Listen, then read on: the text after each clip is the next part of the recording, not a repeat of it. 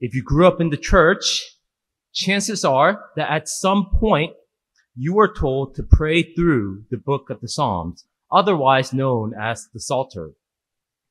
But what do you do when you come to a psalm like Psalm 137? How are we to understand and utilize psalms that invoke curses upon others? How are we to understand and utilize that rejoices in the smashing of baby heads against rocks? I think there are various ways to answer this question, but today I want to answer this question through the lens of something called speech act theory. Now, if you know me for some time, you know that I love languages and I love trying to understand how languages work. And so this is one of my favorite theories out there. So speech act theory has its roots in the philosophy of language. That is the branch of philosophy that is interested in how language works. And in its simplest form, speech act theory is the idea that we do things with our words. Or to put it another way, we perform actions with our words. For example, we can command with our words. So I might say to my children, go, clean your room. I've used my words to command. I performed an action. We can insult with our words. So if I say to someone, man, you're so dumb. I've used my words to insult someone, right? I performed the action of insulting. We can compliment people with our words. Hey, you did a great job today. We can make requests with our words. Could you please pass the broccoli? And so on, right? But it's not just us who uh, does things with words. God also does things with words, right? We see in Genesis 1 that God creates with his words. And we as Christians say that God changes us with his words. We say that God instructs us with our words.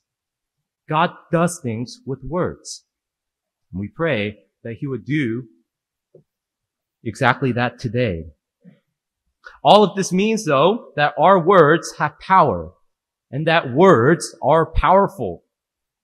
It also means that God's word is powerful to instruct and change us. As we pray, he does so today. In today's sermon, I want for us to see Psalm 137 as performing three speech acts. So first, imprecatory psalms as lament. Second, imprecatory psalms as anger. And third, imprecatory psalms as hope and trust. Or to put it another way, I want to show you that the psalmists of 137 are doing three things with their words. They're performing three actions. They are lamenting, they are expressing anger, and they are hoping and trusting. I should briefly mention that we don't actually have any psalms in the Psalter that are entirely imprecatory. Imprecations are usually accompanied by lament, and this makes sense as imprecations or when we express anger or invoke curses upon others, it's, it's often followed by events or it's followed um, by events that causes pain and sorrow.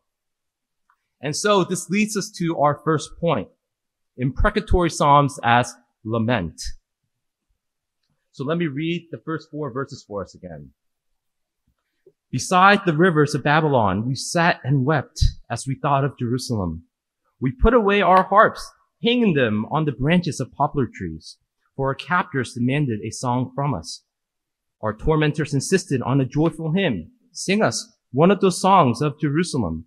But how can we sing the songs of the Lord while in a pagan land? In the first four verses, the psalmist provides the context for our psalm. The psalmist is by the rivers of Babylon weeping as they thought of Jerusalem. You see, in 587 BCE, the Babylonians enter into Jerusalem, destroy the temple, which houses God and is their central site of worship, and proceeds to take many of the Israelites into exile, of whom our is, of whom our psalmist is one. Now, as those who dwell in a foreign land, they are oppressed and tormented as their captors demand that they sing songs of Zion or Jerusalem. Their demands were inappropriate for two reasons. First, Psalms of Zion declare the sovereignty of God over all things. But imagine telling a people who just lost everything and were forced to migrate to a different land to sing about the sovereignty of their God. This is mockery.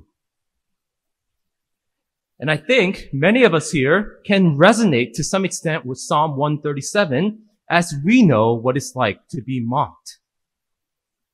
I shared before that growing up, I was ashamed of my Korean heritage. And in one sense, how could I not be when throughout grade school, people mocked the Asians for how their language sounded? I remember growing up that people would ask me how to say a certain word in Korean, and then they would proceed to purposely say it in a mocking manner. And we're, remi- we're reminded that things like this still happen today as the chancellor of Purdue University Northwest has recently mocked Asian people and their language. Indeed, for many of us, we know what it's like to be mocked. Second, songs of Zion mark joyous occasions. And it, again, it declares God's kingship over all things. In essence, the Babylonians demanded joy from a people for whom joy was not possible. So rather than sing, the Israelites hang up their harps. They refused to sing joyful songs. Instead, they chose to lament. As one scholar puts it, for the community in forced migration, beauty was lament. I want to pause here and offer some pastoral advice because I think we too have the tendency to demand joy from others when they are not in a situation to be joyful, when it might be impossible for them to be joyful. As Joseph reminded us last week, Western Christianity tends to emphasize triumph, victory, and joy to the detriment or neglect of lament, confusion, and sorrow. Thus, at times, we take one verse, like rejoice always in the Lord, and we impose it upon others while neglecting the very next line that tells us to mourn with those who mourn. We too can sometimes demand that others rejoice too quickly. We don't give them time to process their pain and their hurts. We don't take time to listen. And we make sure to correct their bad theology in moments of suffering. Surely, sometimes we are too quick to speak and too slow to listen. And let me say that I too am guilty of this.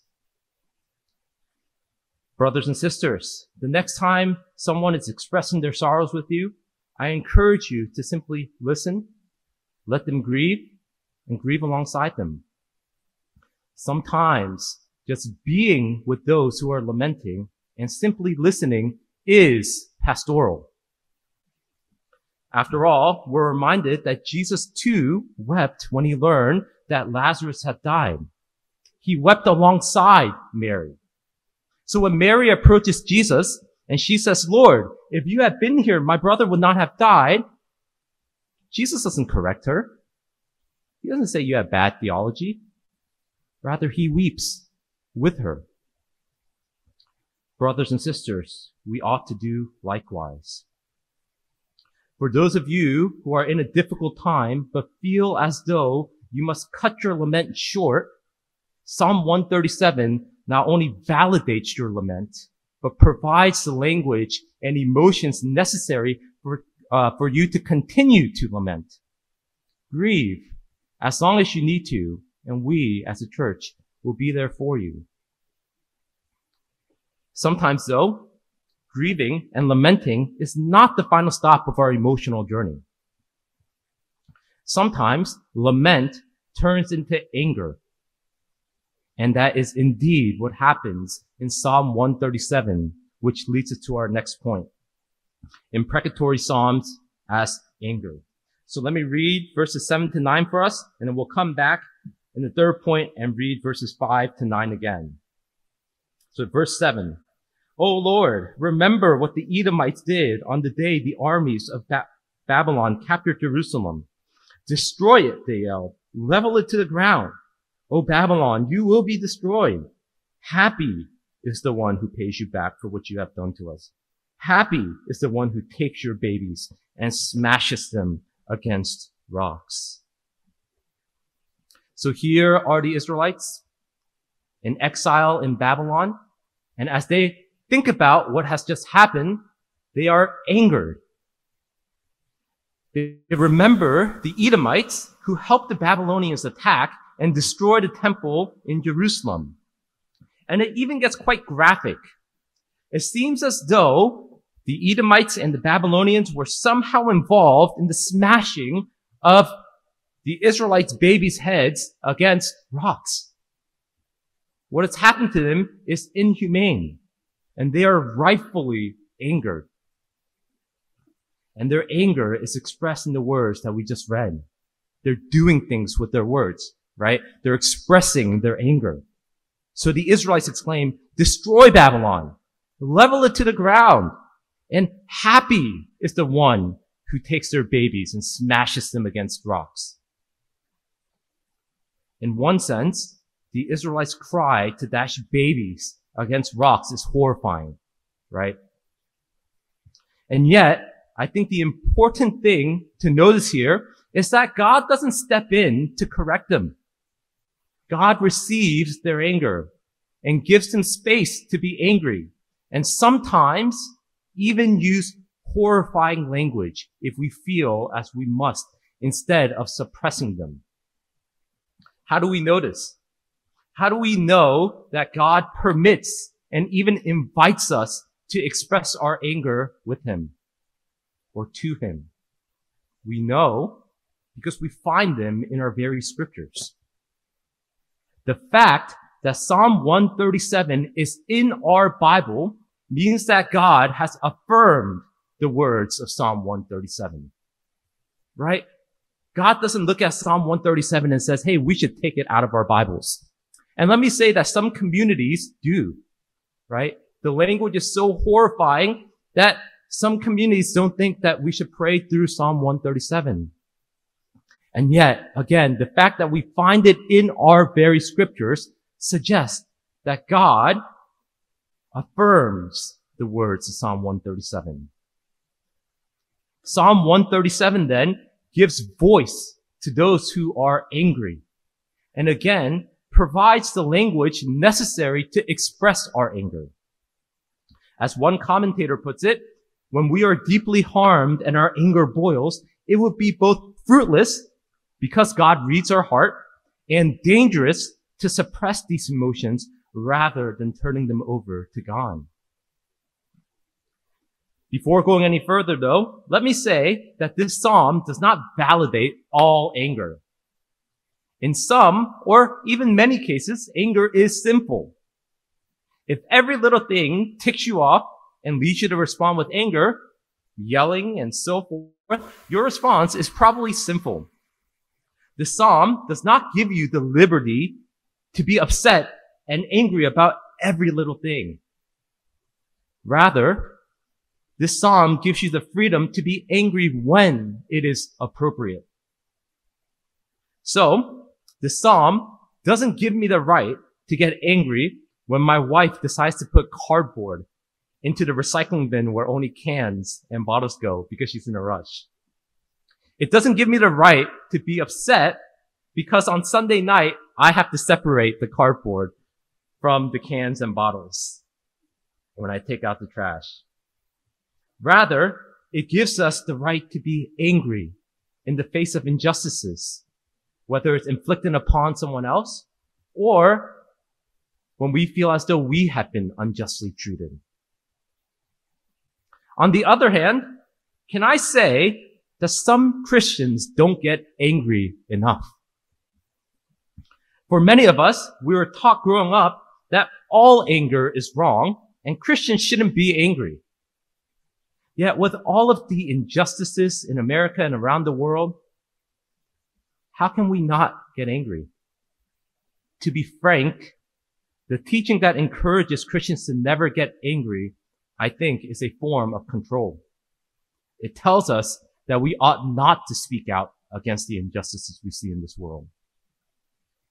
Psalm 137 then, in the words of one scholar, confronts an apathetic and ambivalent people and invites them to hate, incites them to side with Yahweh, his son, and his people.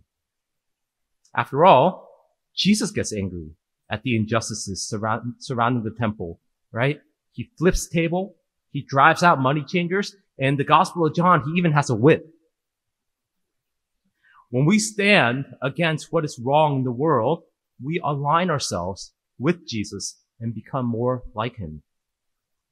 Some situations demand that we get angry. In fact, if you are not angry about some of the things that are happening in the world, I would question your love for people, your concern for others.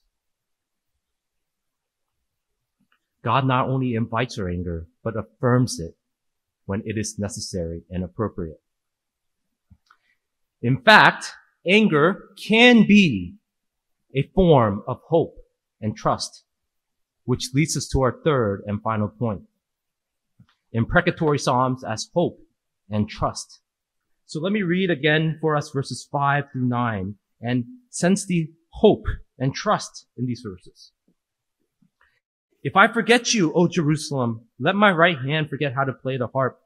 May my tongue stick to the roof of my mouth if I fail to remember you, if I don't make Jerusalem my greatest joy. O Lord, remember what the Edomites did on the day that the armies of Babylon captured Jerusalem. Destroy it, they yelled. Level it to the ground. O Babylon, you will be destroyed. Happy is the one who pays you back for what you have done to us. Happy is the one who takes your baby and smashes him against rocks. Despite the tendency to view anger as antithetical to hope and or trust, I want for us to see that anger itself can be a form of hope and trust. Again, not all anger is a form of hope and trust. But in some situations, anger can be a form of act or an act of hope and trust. So in Psalm 137, we see a psalmist who is longing to return back to Jerusalem. We see a psalmist, even in his anger and lament, asking God to remember what has been done to them. The psalmist here is bringing his emotions and his pains to God and asking God to do something about it. The psalmist has not given up on God. If you have given up on God, you don't bring your anger to God. So, he says in verses 8 to 9, again, blessed is the one who pays you back for what you have done. Blessed is the one who takes your babies and smashes them against rocks. I want to note briefly here that the word for happy can also be translated blessed and it's the more common translation. Again, it's one of the few places in the NLT from which I'm reading from that I, I disagree with the translation, right? I think the more common translation of blessed is the better translation. But the more important question here is who is the blessed one? Who is the blessed one that pays back and carries out justice? The one that they're looking to, to get revenge for them, right? Who is this blessed one?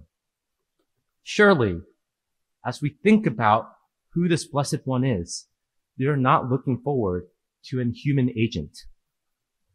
Rather, the blessed one who accomplishes justice is God himself. So what is the psalmist doing with his words that are marked by lament and anger? He is ultimately trusting and hoping that God will do something. It's important to note that the psalmist doesn't seek to carry out revenge or justice as he sees fit. He doesn't attempt to carry it out himself. Rather, he entrusts vengeance to God, regardless of what it may look like. In this way, we see Paul's command to never take revenge and to leave revenge to the righteous anger of God playing out here. As one commentator notes, the imprecations are not just expressions of anger. They allow us to turn our anger over to God for him to act as he sees fit. These prayers do not ask God for the resources and opportunity to take vengeance on our enemies. They ask God to do so and acknowledge his freedom to act or not act as he sees fit. Anger then, like all other emotions that God has given us, is a legitimate response to life in a fallen world. Can we all be honest for a second? Sometimes life sucks. Sometimes life hurts. In these moments, it's okay to be angry. But brothers and sisters, in such times, don't just be angry. Be sure to bring it to God, or else you're just being angry. There's no hope or trust in your anger. And let me be the first to say that this is hard. I don't know about you, but when I get angry, I more often than not don't bring my anger to God. Instead, I sit there and stew in my anger. Right? It's completely unproductive. A lot of times, there is no hope or trust in my anger. The act of bringing our anger to God must be learned and practiced because it's hard to turn to God in our prayers. We must learn how to bring our anger to God instead of just letting it stew. In a way then, God teaches us how to be angry through Psalm 137 in a way that hopes and trusts in God. God invites us to bring our pains and our hurts to Him and ultimately teaches us to hope and trust in Him by pointing us to Christ. As the story of the Bible unfolds, who the blessed one of verses 8 to 9 becomes clear. The blessed one of these verses is Jesus. Jesus is the true and better blessed one of Psalm 137 who will enact God's judgment and justice when he returns in whatever way he sees fit and will take us home to a heavenly Jerusalem where peace and justice abound. He will bring an end to our lament and our anger. It is in Jesus, the blessed one of Psalm 137, to whom we give and surrender our anger. We bring it to him with hope, trusting that he hears us and that he will do something about it, whether now or in the future. And we trust that he will do something about it now or in the future because he came to earth. He became like humanity. He died for our sins. He resurrected, as he said. He ascended to heaven and is seating at the right hand of God, interceding for us as one who can deal empathetically with us. He can receive our anger. He can deal with our anger. He understands our hardships and our struggles, our lament and anger. It is to this Jesus that we give and surrender our anger. And we trust that he will do something about it, whether in this lifetime or in the one to come.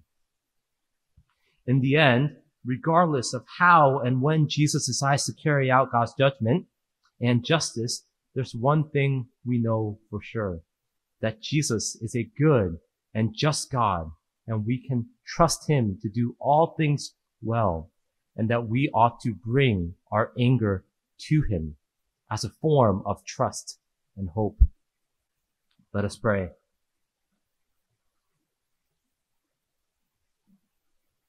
Lord, we thank you for your word.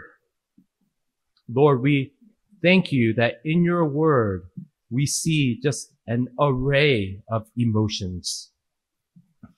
And these emotions correspond to just the difficulties of life, the hardships of life in a fallen world. Lord, we thank you that in your word, we find anger as a response. I know for many of us, when things get hard, we do get angry. And in the cases in which we get angry and it's inappropriate, we pray that you forgive us. But in times where, where anger is appropriate, we thank you that your word validates our anger. Lord, we thank you that we have one to whom we can give our anger and hope and trust that all things will be done right. Lord, we're thankful for your word and the gospel. We love you. We pray in Christ's name. Amen. Thank you.